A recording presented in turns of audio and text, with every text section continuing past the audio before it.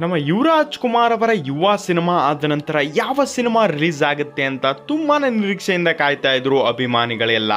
ಅದೇ ರೀತಿ ಸದ್ಯಕ್ಕೆ ಸಿಗ್ತಾ ಇರುವ ಅಪ್ಡೇಟ್ನ ಪ್ರಕಾರ ಏಪ್ರಿಲ್ ಇಪ್ಪತ್ತ್ ಮೂರರಂದು ನಮ್ಮ ಯುವರಾಜ್ ಕುಮಾರ್ ಅವರ ಹುಟ್ಟು ಹಬ್ಬದ ಪ್ರಯುಕ್ತ ವೈ ಆರ್ ಕೆ ಸಿನಿಮಾದಿಂದ ಒಂದು ಅಪ್ಡೇಟ್ ಬರುತ್ತೆ ಅಂತ ತುಂಬಾನೇ ಬಸ್ಗಳು ಓಡಾಡ್ತಾ ಇದೆ ಸ್ನೇಹಿತರೆ.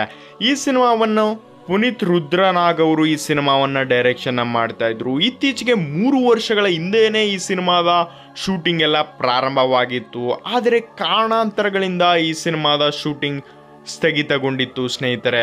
ಅದೇ ರೀತಿ ಈ ಸಿನಿಮಾದ ಟೀಸರ್ಲಂತೂ ನಮ್ಮ ಯುವರಾಜ್ ಕುಮಾರ್ ಅವ್ರು ಮಾತ್ರ ಬೇರೆ ಲೆವೆಲ್ ಗುರು ತುಂಬಾನೇ ಹೈ ಬಜೆಟಲ್ಲೇ ನಿರ್ಮಾಣ ಆಗ್ತಾ ಇದೆ ಅನ್ನೋದಕ್ಕೆ ಈ ಸಿನಿಮಾದ ಸೆಟ್ಗಳನ್ನು ನೋಡಿದ್ರೆ ಗೊತ್ತಾಗುತ್ತೆ ಸ್ನೇಹಿತರೆ. ಅದೇ ರೀತಿ ನಮ್ಮ ಪುನೀತ್ ರಾಜ್ಕುಮಾರ್ ಅವರು ಕೂಡ ನಮ್ಮ ಯುವರಾಜ್ ಕುಮಾರ್ ಅವರ ಮೊದಲ ಸಿನಿಮಾವಾಗಿ ಬಿಡುಗಡೆ ಆಗಬೇಕಾಗಿದ್ದ ವೈ ಆರ್ ಕೆ ಟೀಸರ್ನ ಕೂಡ ನೋಡಿ ಅವರು ತುಂಬಾನೇ ಇಷ್ಟಪಟ್ಟಿದ್ದರು ಸ್ನೇಹಿತರೆ. ಅದೇ ರೀತಿ ನಮ್ಮ ಯುವರಾಜ್ ಕುಮಾರ್ ಅವರ ಯುವ ಸಿನಿಮಾದ ಆದ ನಂತರ ನಮ್ಮ ಯುವರಾಜ್ ಕುಮಾರ್ ಅವರ ಅಭಿಮಾನಿಗಳು ತುಂಬಾ ನಿರೀಕ್ಷೆಯಿಂದ ಕಾಯ್ತಾ ಇರುವಂತಹ ಸಿನಿಮಾನೇ ವೈ ಆರ್ ಕೆ ಸಿನಿಮಾ ಅಂತಲೇ ಹೇಳ್ಬೋದು. ಈ ಸಿನಿಮಾದಿಂದ ಒಂದು ಒಫಿಷಿಯಲ್ ಅನೌನ್ಸ್ಮೆಂಟ್ ಆಯಿತು ಅಂದರೆ ತುಂಬಾ ಅಭಿಮಾನಿಗಳು ತುಂಬಾ ಖುಷಿ ಪಡ್ತಾರೆ. ಏಕೆಂದರೆ ಈ ಸಿನಿಮಾಗಂತೂ ತುಂಬ ಅಭಿಮಾನಿಗಳು ವೇಟಿಂಗನ್ನು ಮಾಡ್ತಾ ಇದ್ದಾರೆ ಅಂತಲೇ ಹೇಳ್ಬೋದು.